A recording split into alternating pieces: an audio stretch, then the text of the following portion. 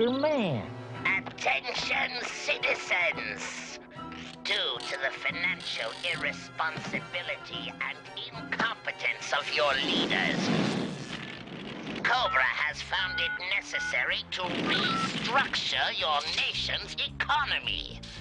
We have begun by eliminating the worthless green paper, which your government has deceived you into believing is valuable. Cobra will come to your rescue, and out of the ashes will arise a new order!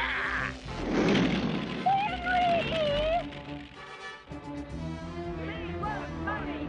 We, we want money! We want money! Cobra has us exactly where they want us, helpless. In less than a week, buying and selling have been replaced by rioting and looting. And you can't reestablish order until you print new currency. And you can't print new currency because Cobra will just destroy it.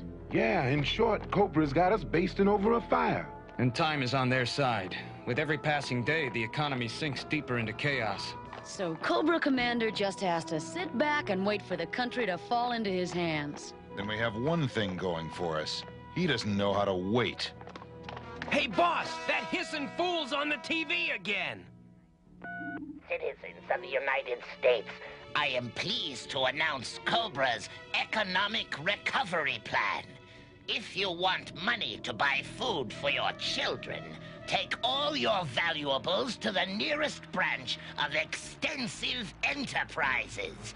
There, all goods will be exchanged for Cobra currency. That's it. We've got our